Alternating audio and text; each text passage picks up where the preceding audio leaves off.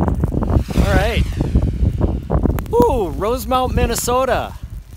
I'm getting my my best Dave Lundy pose on right now. Woo! So it's not necessarily always about accumulation.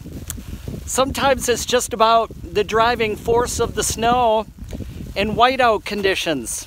Um, this has only been going on for about 15 minutes and uh, we're expecting about four or five hours, maybe six hours of this uh, coming up on our way to whew, something like six to eight inches, possibly 12 inches of snow accumulation uh, overnight.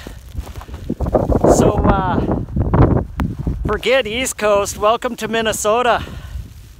Woo! Ah, refreshing. Not really. Uh,